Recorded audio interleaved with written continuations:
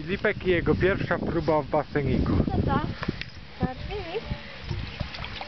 Zdejmij łódki z kapetki. Było trochę gorąco. Co?